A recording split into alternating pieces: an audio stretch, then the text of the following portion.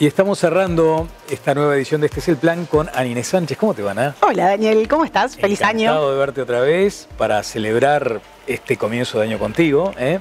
y por un ciclo 2023 que nos tendrá muy activos en lo que está pasando en Punta del Este. Pero si vamos a lo puntual, a lo que está sucediendo en este momento, todos impresionados. Impresionados. Supermercados que se quedan sin stock, gente que llama como loco a proveedores en Montevideo para que les traigan camiones de mercaderías. ¿Qué está pasando? Es una locura Punta del Este. Punta del Este y toda la costa. Por suerte, era lo que estábamos esperando. Y que tanto tiempo estuvimos sin poder este, recibir tanta gente. Y bueno, creo que nos, sobrepasó. Eh, muchísimos turistas, por suerte, todos los lugares eh, completamente llenos, hay que hacer reservas, los restaurantes a tope, un montón de actividades también. Y creo que la gente está muy contenta de haber podido volver con tranquilidad a Punta del Este. Hay mucho de ese espíritu, de esa necesidad que había de salir, de celebrar, eh, de pasarla bien de todos modos siempre viene como una cuestión asociada que es la falta de espacios para estacionar, por ejemplo, lo que tú mencionabas, a veces para ir a, un restaurante tenés que hacer una reserva con bastante antelación, las colas en los supermercados. Y alguien me decía el otro día, hay un efecto también aquí que tiene que ver con el accidente lamentable del shopping. Sí. Y eso concentró mucha actividad en la península. Exactamente. Bueno, la península estos días ha estado eh, colapsada en el buen sentido, ¿no? Por mucha cantidad de autos, mucha cantidad de gente. También lo bueno de todo esto, para, para mirarlo con, unos ojos más positivos. Como corresponde aquí. Es que Punta del Este y Gorlero, sobre todo, volvió a ser lo que era antes. Cierto. Cuando éramos chicos que íbamos a gorlerear, bueno, de nuevo Gorlero se vio eh, colmada de gente con las familias, los chicos, este, y con esa libertad también que tienen los chicos de poder salir y que los padres sepan que están ahí en la punta gorlereando como, como en aquellos tiempos. E, esa parte está buena. Eh, hasta donde sabemos, el shopping además tiene previsto eh, inaugurar en septiembre sus instalaciones, lo que también para la zona representa una tranquilidad tomando en cuenta la generación de empleo. Sí, sí, totalmente. hay mucha gente que quedó obviamente que sin empleo y algunos otros han tenido que bueno, salir a buscar empleo en otros lugares. Y también es verdad que muchos de los, eh, de los mismos locales que estaban en el shopping se han trasladado a otras zonas, algunos en la calle 20, en Gorlero, algunos también más en la zona de Maldonado. Así que bueno, eso también lleva un poco de tranquilidad a la, gente ¿no? que, pasó tan mal durante, durante ese momento. Sin dudas.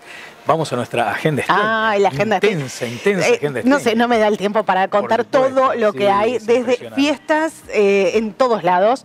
Eh, la verdad que el espacio que está en el Jahuel es un lugar maravilloso donde los chicos, este, y los no tan chicos también, pueden ir a divertirse. Está colmado de fiestas. además? Increíble. Precioso quedó. Sí, sí, sí, sí. La zona, la zona joven esa quedó, quedó, muy bien y además es un lugar donde este, el ruido de alguna manera de todas esas fiestas no interfiere, interfiere la, vida, claro, que viene a descansar. pasarla Exactamente.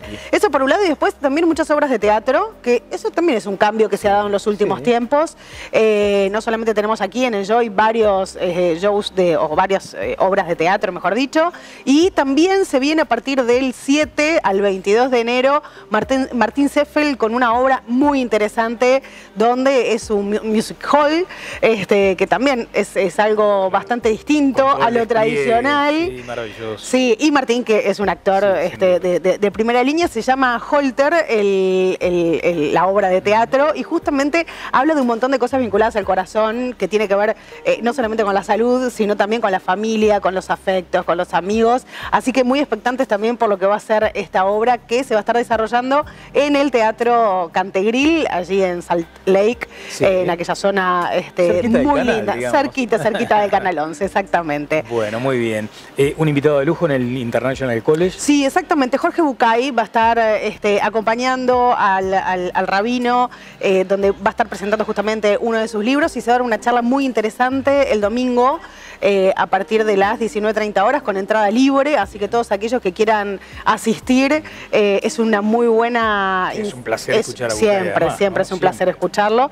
Así que va a estar allí en el International College, en lo que es la, bueno, la zona de, Avenida del Mar, mm. Este, por ahí donde están todos los colegios ahora. Sí, sí, que hay una, un polo educativo. Un polo educativo está, está por allí, así que bueno, todos invitados. Este, y con entrada gratuita también, que eso es, buenísimo, ¿no? Para, Anita, y, Si quiero, y, si quiero, milonguear por Ah, también, también tenemos, este, por suerte, un espacio milonguero. La Liga de Punta del Este, que tiene más un montón de actividades en sí misma, todos los miércoles abre sus puertas para recibir a la milonga con clases de tango para todos aquellos que quieran empezar a, disfrutar de este baile maravilloso y también este, para aquellos que ya están un poquitito más avanzados, donde se arma una, una linda milonguita también a partir de las 19.30 horas, de entrada libre también.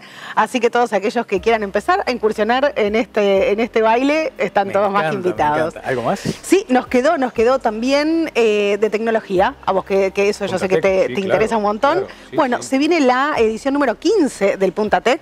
Eh, la verdad que es fantástico que siga desarrollándose este evento que nuclea no solamente empresarios del sector tecnológico, sino que también muchos inversores y todos aquellos este, emprendedores que están con, sus startups eh, comenzando en este, en este camino emprendedor. Así que eso se va a estar desarrollando en el centro de convenciones el día lunes 9 de enero. Así que pueden ingresar también a la web de Punta Tech este, ingresar, allí, se compran las entradas ahí mismo. Todavía quedan varias disponibles, así que más que, más que un buen plan justamente para, para este lunes. Porque además se da mucho eso del networking Por supuesto. Ahí empezás a intercambiar, exacto. intercambiar códigos QR.